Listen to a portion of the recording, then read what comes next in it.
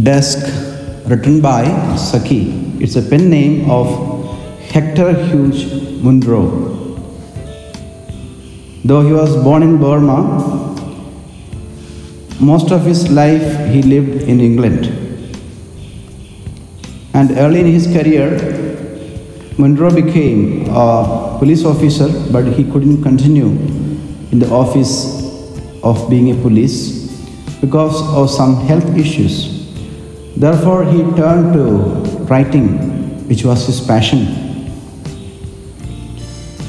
And as a storyteller, he has made much impact in the literature. And this chapter, named Dusk, is an example for the same. In this lesson, actually, Saki is telling us about the consequences of a man named Norman Gortsby facing because of his habit of making very quick judgments, assumptions. It is said that we should not judge a book by its cover page. Very often we judge people looking at their appearances, looking at their dress patterns, dress codes, etc. Sometimes our assum- assum- assumptions will be wrong and we will make grave mistakes. This lesson tells us about this experience of Norman Gortsby. Let's see what he experienced. Norman Gortsby sat on the bench in the park with his back to a strip of bush planted sward, fenced by the park railings and the row fronting him across a wide stretch of carriage drive. So Norman is sitting down uh, in a, on a bench, and it's a park, and in front of him there is a carriage drive that is going. And now what happens? Hyde Park Corner, with its rattle and hoot of traffic, lay immediately to his right. So the setting is clear. He is sitting down on a bench in a park, and Hyde Park Corner is, uh, is actually rattling with traffic. So it's the middle of the city actually. It was some 30 minutes past 6 on an early March evening, and dusk had fallen heavily over the scene. Dusk mitigated by some faint moonlight and many street lamps. So the setting is clear. It's an evening hour wherein the sun is almost setting and uh, uh, the dusk is just reduced by some faint moonlight and many street lamps. So this is a time when Norman is uh, sitting down on a bench in the park. There was a wild emptiness over road and sidewalk, and yet there were many unconsidered figures moving silently through the half light. Now, the author is explaining about what's happening in that street, in that uh, park. Though it is uh, dusk and almost sun is setting, uh, there is a lot of emptiness is felt. And yet there are some unconsidered figures moving silently through the half light. Unconsidered figures. We can't make out who they are. They are not very important figures. They are moving and in this half light. The scene pleased God's Gortsby and harmonized with his present mood. Dusk to his mind was an hour of the defeated. The person who, who is sitting down on the bench in the park, Gortsby, this scene is very pleasing. It is harmonizing with his mood, and according to him, dusk is a time of the defeated. Men and women who had fought and lost, who hid their fallen fortunes and dead hopes as far as possible from the scrutiny of the curious, came forth in this hour of gloaming, when their shabby clothes and bowed shoulders and unhappy eyes might pass unnoticed or at any rate unrecognized. So, for God's way, this evening, our dusk is a time, is the hour of the defeated, when many people, men and women uh, alike, those who have uh, had a fallen fortune or their hopes are dead, and uh, uh, those faces which are gloomy, those people with shabby clothes and bowed shoulders and happy eyes, they are walking along this street beside the park, unnoticed by people, or rather, they don't want to get recognized, unrecognized. So, this is a situation that he experiences in the park. Beyond the sheltering screen of bushes and palings came a re- realm of brilliant lights and noisy, rushing traffic. Meanwhile, on the other side of the park, we will find a lot of rushing traffic. A blazing, many tired stretch of windows shone through the desk and almost dispersed it, making marking the horns of those other people who held their own in life's struggle or at any rate had not had to admit failure. So here he makes a comparison between people who, never faced a failure, those who are always successful. Maybe the busy street represents such people. And here also he compares uh, the people who are walking in this little light of the dusk those people who are unnoticed and unrecognized. So God's imagination pictured things as he sat on his bench the almost deserted walk.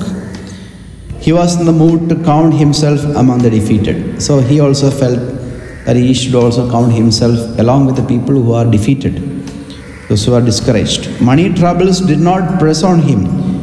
Had he so wished, he could have strolled into the thoroughfare of light and noise and taken his place among the jostling ranks of those who enjoyed prosperity or struggling for it. He had failed in the more subtle ambition, and for the moment he was heartsore and disillusioned. So he thought for a moment about himself. He could have ranked himself along with people who are successful, those people. Uh, who have uh, those people uh, who are pressing towards success, uh, those people uh, of Georgian ranks who enjoyed prosperity, or those people who are struggling to enjoy prosperity. But at this moment, he, he himself feels that he is also along with the defeated, and uh, he is heart sore and disillusioned. Disillusioned means disappointed. On the bench by his side sat an elderly gentleman with a drooping air of defiance that was probably the remaining vestige of self respect in an individual who had ceased to defy successfully anybody or anything. So, along with him, beside him came and sat a gentleman, elderly man looking at him, uh, the uh, God's space telling that he was probably uh, an individual who was not successful. Probably he is a defeated person. His clothes could scarcely be called shabby, at least they passed muster in the half light. He belonged unmistakably to that forlorn orchestra to whose piping no one dances. Forlorn orchestra means sad orchestra to whose piping no one dances. He is also along the band of people who are unrecognized, unsuccessful, etc.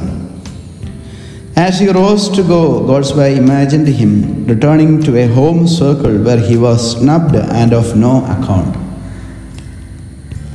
Gortsby thought to himself that this person is not even considered at home, not respected. He is snuffed. He is of no account at home.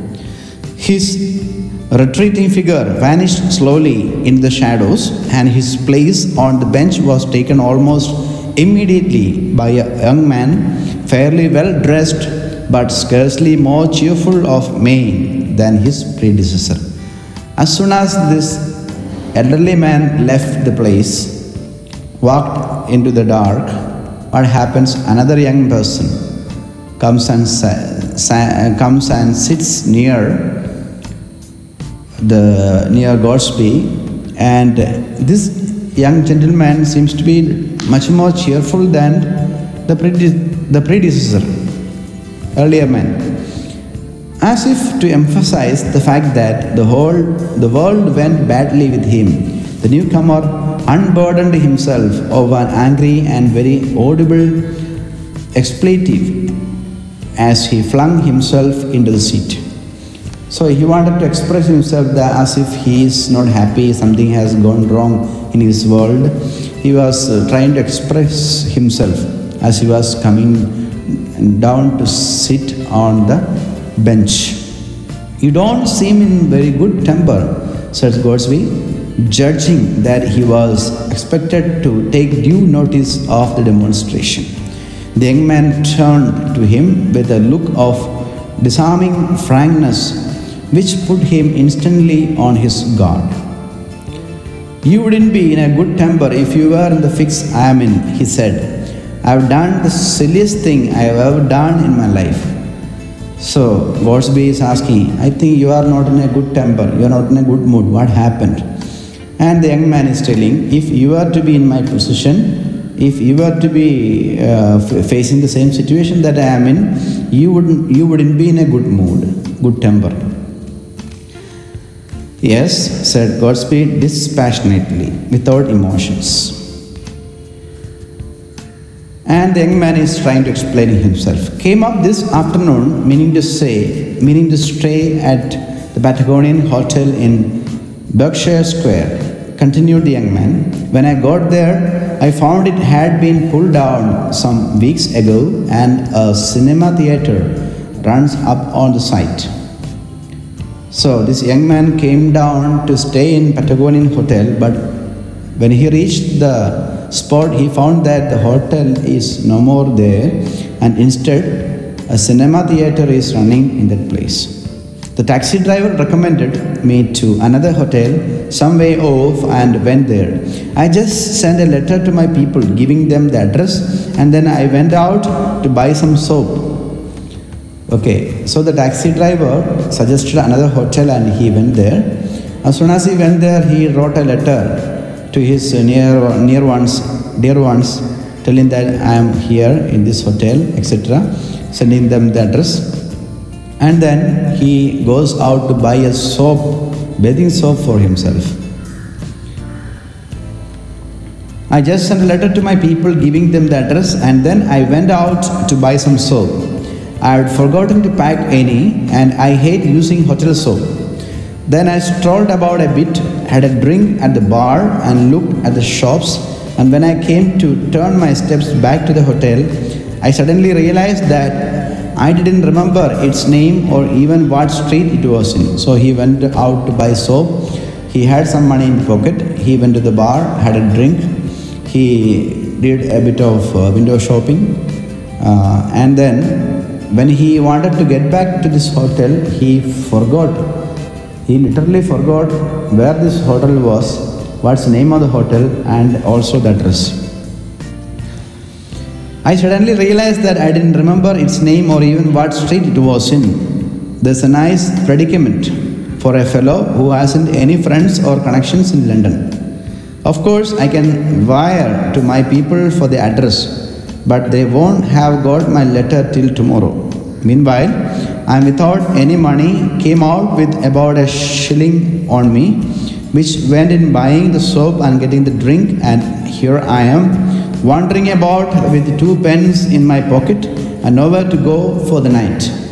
So, this is a predicament that this young person is in. He has lost uh, the way, uh, he does not know how to get back to the hotel, he does not have even the money. Only two pence is remaining with him, and the rest is spent already on soap and the drink. And uh, here he doesn't know anyone, he doesn't have any friends. This is a, a strange land for him. There was an eloquent pause after the story had been told. I suppose you think I have spun you rather an impossible yarn, said the young man presently with a suggestion of resentment in his voice. The young man told Gortsby, Okay, Gortsby, you, you may think that I have uh, made up a story, spun, uh, spun a story like that, okay? Uh, spunning an impossible yarn means that, okay? Spunning means uh, making up a cooked up story. Not at all impossible, said Gortsby ju- judiciously. I remember doing exactly the same thing once in a foreign capital, and on that occasion there were two of us, which made it more remarkable. Luckily, we remembered that the hotel was on a sort of canal, and when we struck the canal, we were able to find out our way back to the hotel. So, Gortsby is also telling this young man, okay, this could happen to any one of us. Once, uh, when I was on a journey uh, along with my friend, it's happened to me. The youth brightened at the reminiscence. Reminiscence means this memory. In a foreign city, I wouldn't mind so much, he said. One could go to one's counsel and get the requisite help from him. Here, in one's own land, one is far more derelict if one gets into a fix. Unless I can find some decent chap to swallow my story and lend me some money, I, I seem likely to spend the night on the embarkment. I am glad, anyhow, that you don't think the story outrageously improbable. So he says, Yeah, it's okay. Sometimes in the foreign land it happens, but in one's own land, when it happens, it is a disappointing fact. And uh, if I don't get anyone believe in my story, I may have and uh, lend me some money for time being. I may have to stay this night in the state itself. He threw a good deal of warmth into the last remark, as though perhaps to indicate his hope that Gortsby did not fall far short of the requisite decency. Of course, said Gortsby slowly, the weak point of your story is that you can't produce a soap. But Gortsby is actually feeling with him at the same time, Gortsby is questioning him. Okay, of course, you went out to buy soap, and where is the soap now? You don't if you produce soap, your argument will be much more appealing. The young man sat forward hurriedly, felt rapidly in the pockets of his overcoat, and then jumped to his feet. So the gentleman is trying to find out where the soap is. Okay, uh, he is checking in his overcoat.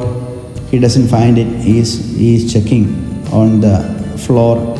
So suppose it has fallen down he doesn't find it. I must have lost it, he muttered angrily.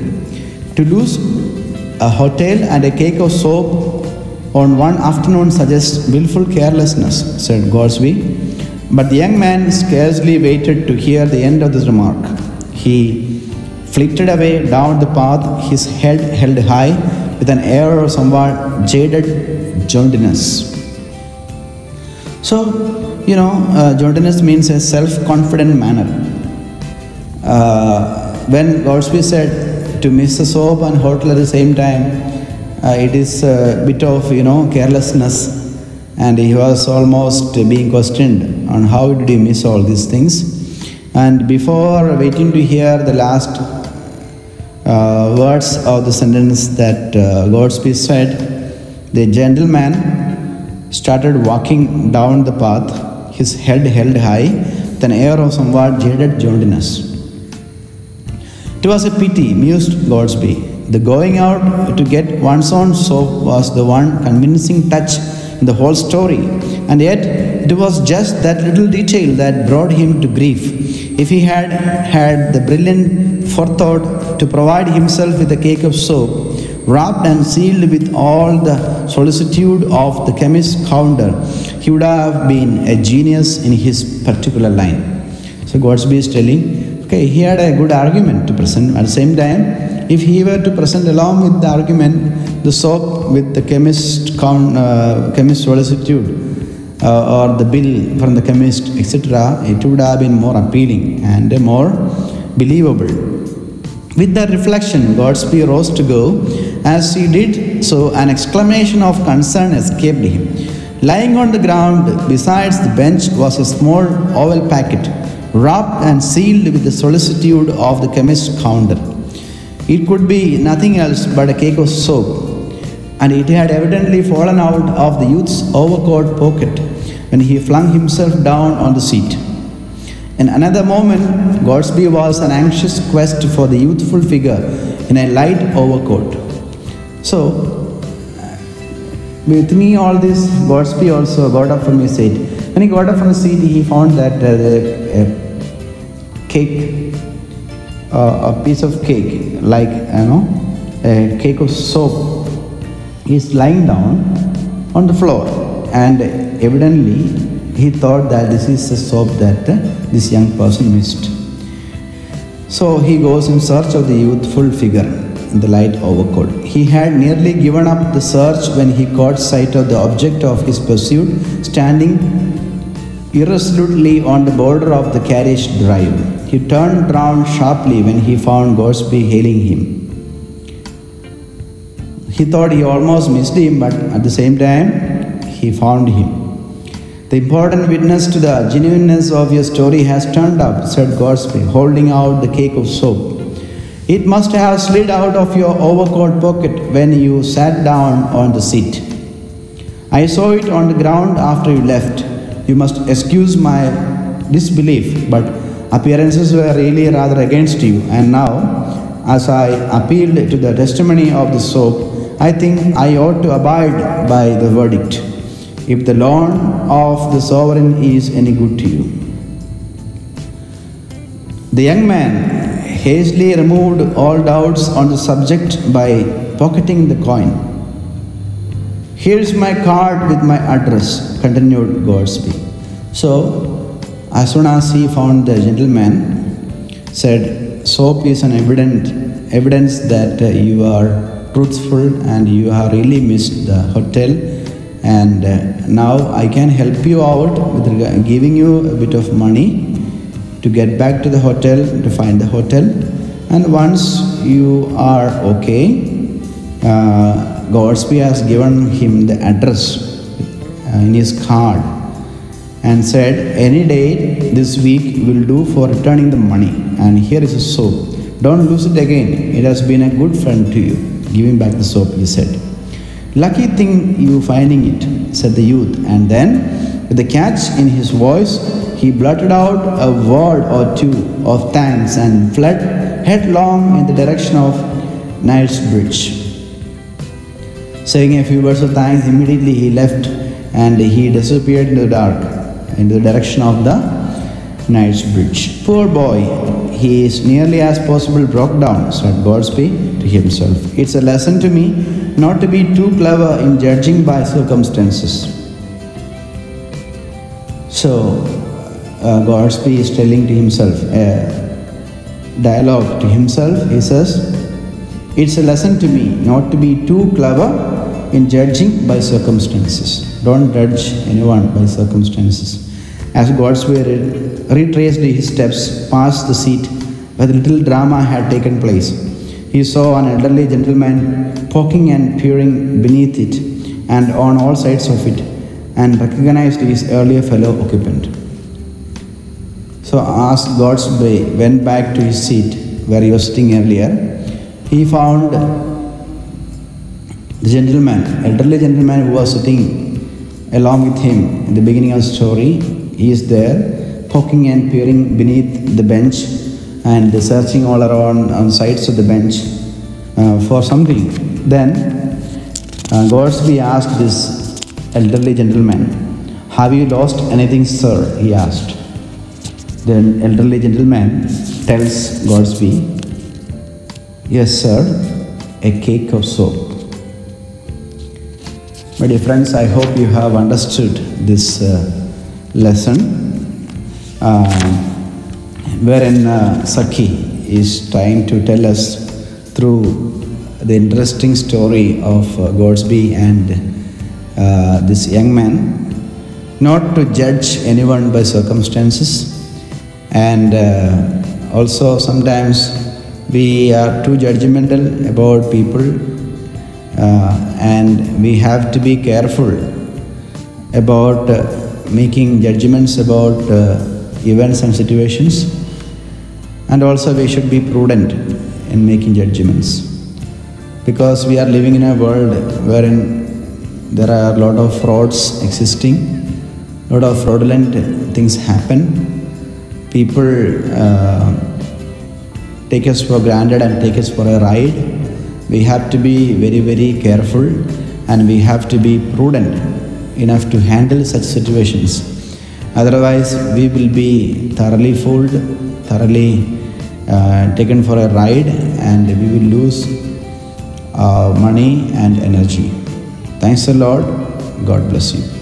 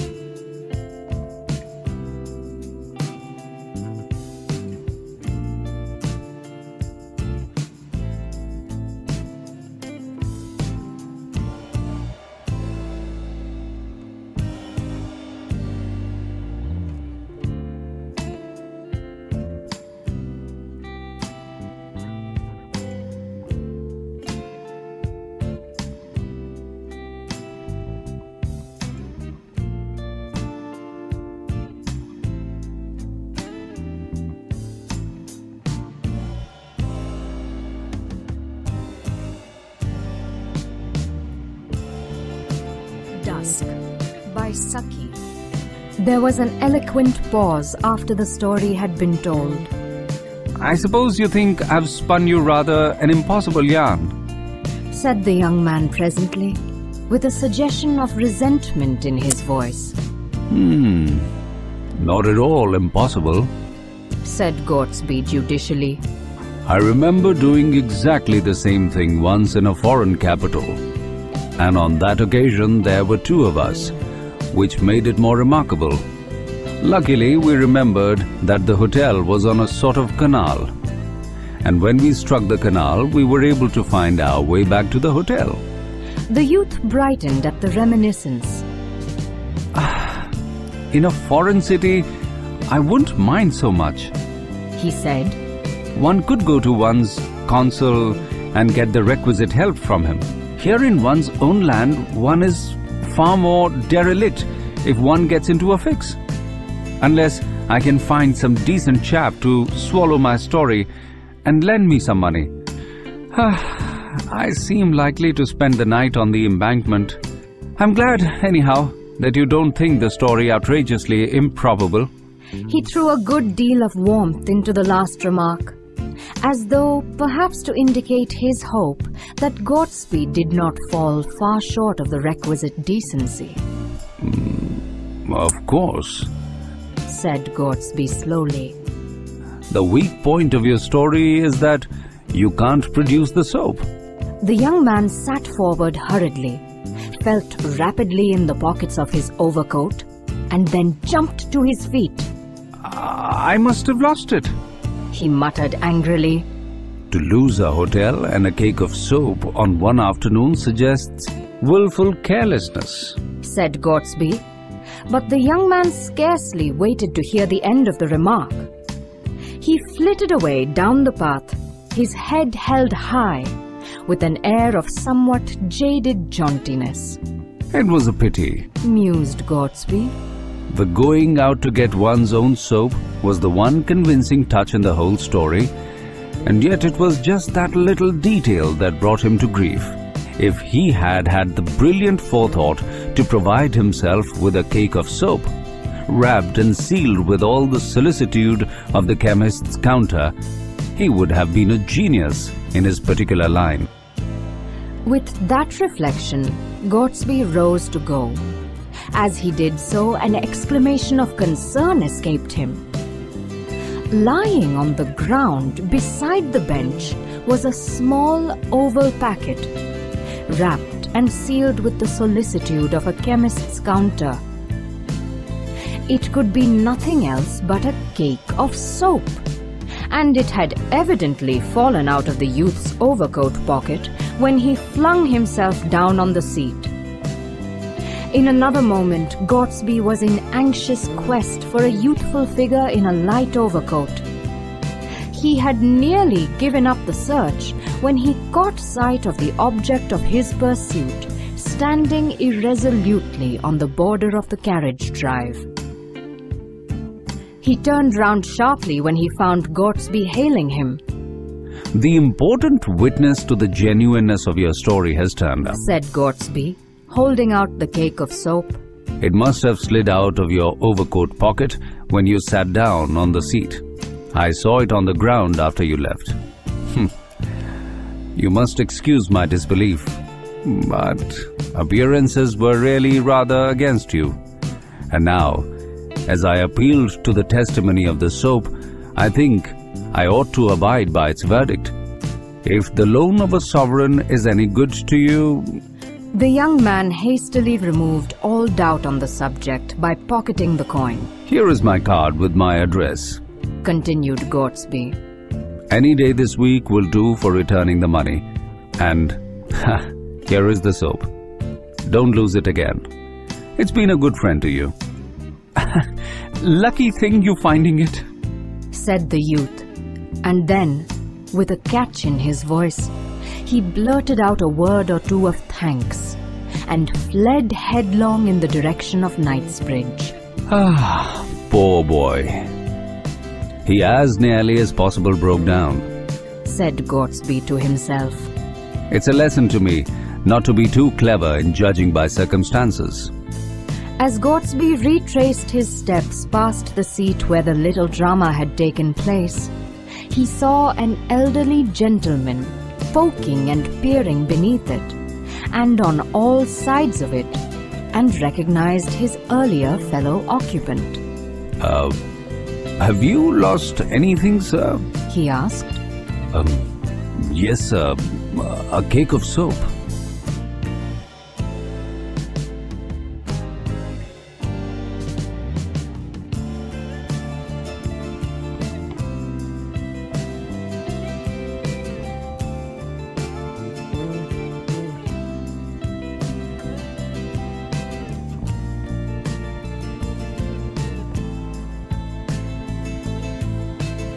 Norman Gortsby sat on a bench in the park, with his back to a strip of bush planted sward, fenced by the park railings and the row fronting him across a wide stretch of carriage drive. Hyde Park Corner, with its rattle and hoot of traffic, lay immediately to his right. It was some thirty minutes past six on an early March evening and dusk had fallen heavily over the scene. Dusk mitigated by some faint moonlight and many street lamps. There was a wide emptiness over road and sidewalk, and yet there were many unconsidered figures moving silently through the half light. The scene pleased Gortsby and harmonized with his present mood. Dusk, to his mind, was the hour of the defeated. Men and women who had fought and lost, who hid their fallen fortunes and dead hopes as far as possible from the scrutiny of the curious, came forth in this hour of gloaming when their shabby clothes and bowed shoulders and unhappy eyes might pass unnoticed. or, at any rate, unrecognized. Beyond the sheltering screen of bushes and palings came a realm of brilliant lights and noisy, rushing traffic.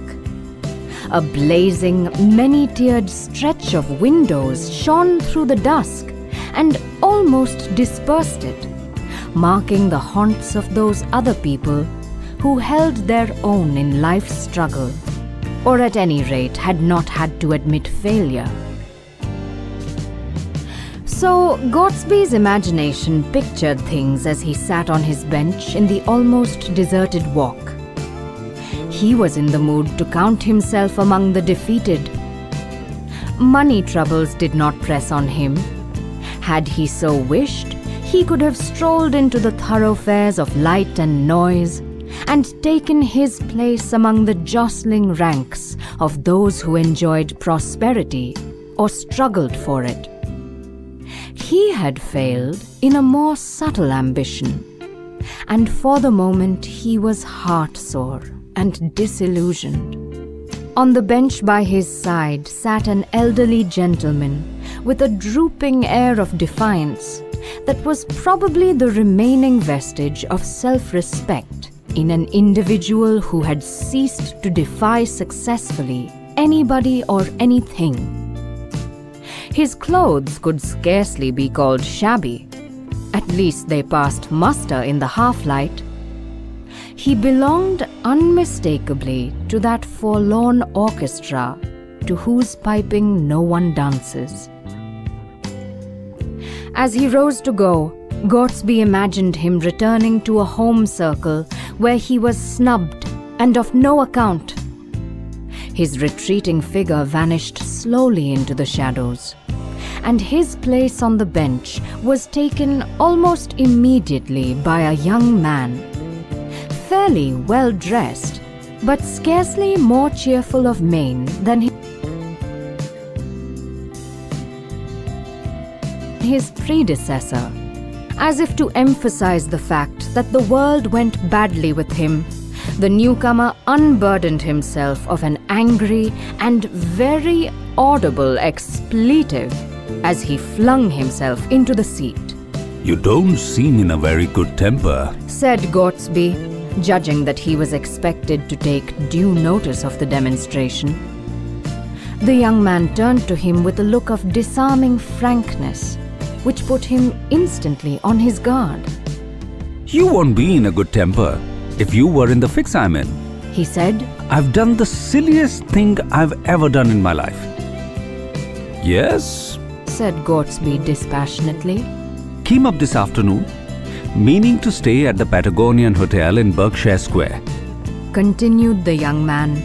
When I got there, I found it had been pulled down some weeks ago and a cinema theatre run up on the site. The taxi driver recommended me to another hotel some way off, and I went there. I just sent a letter to my people, giving them the address and then I went out to buy some soap. I'd forgotten to pack any, and I hate using hotel soap. Then I strolled back to the hotel.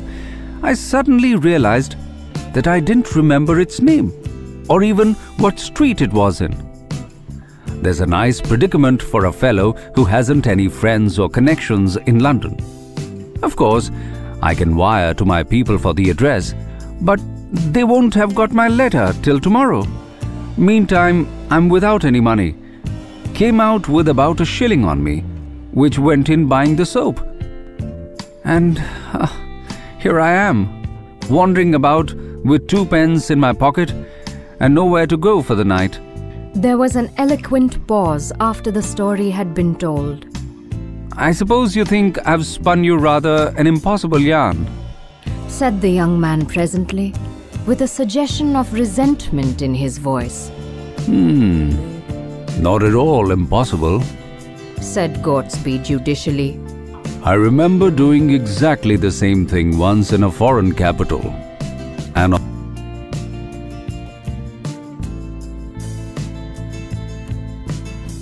on that occasion there were two of us, which made it more remarkable. Luckily, we remembered that the hotel was on a sort of canal, and when we struck the canal, we were able to find our way back to the hotel.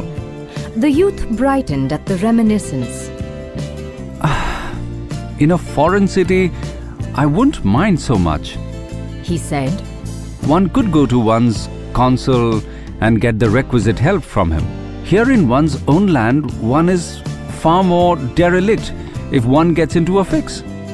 Unless I can find some decent chap to swallow my story and lend me some money. I seem likely to spend the night on the embankment. I'm glad, anyhow, that you don't think the story outrageously improbable.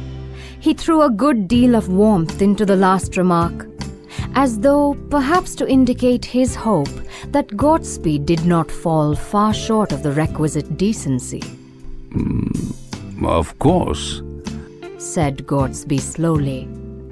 The weak point of your story is that you can't produce the soap. The young man sat forward hurriedly, felt rapidly in the pockets of his overcoat, and then jumped to his feet. I must have lost it. He muttered angrily. To lose a hotel and a cake of soap on one afternoon suggests willful carelessness. said Gortsby. But the young man scarcely waited to hear the end of the remark. He flitted away down the path, his head held high, with an air of somewhat jaded jauntiness. It was a pity. Mused Gortsby.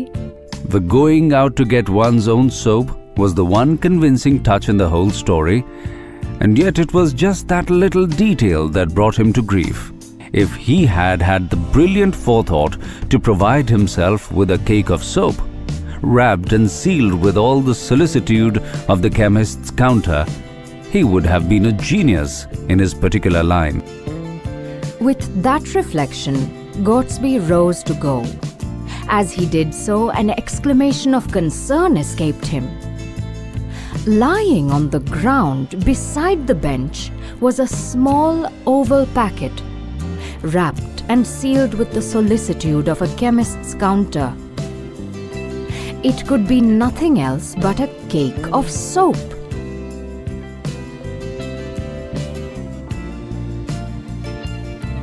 and it had evidently fallen out of the youth's overcoat pocket when he flung himself down on the seat. In another moment, Gortsby was in anxious quest for a youthful figure in a light overcoat. He had nearly given up the search when he caught sight of the object of his pursuit standing irresolutely on the border of the carriage drive. He turned round sharply when he found Gortsby hailing him, The important witness to the genuineness of your story has turned up. said Gortsby, holding out the cake of soap. It must have slid out of your overcoat pocket when you sat down on the seat. I saw it on the ground after you left. Hmm.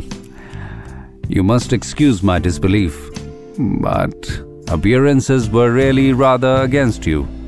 And now, as I appealed to the testimony of the soap, I think I ought to abide by its verdict.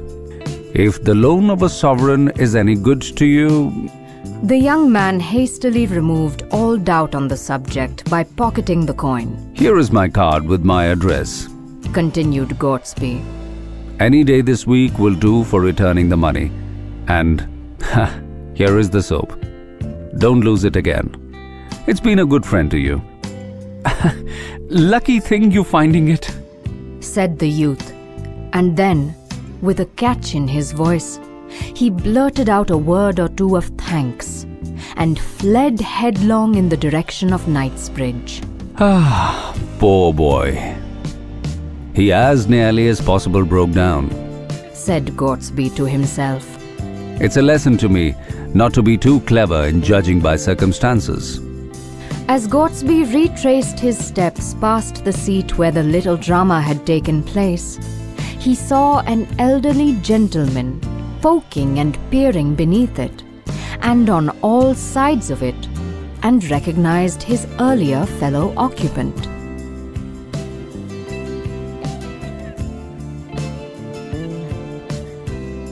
Have you lost anything, sir? He asked. Um, yes, sir. A cake of soap.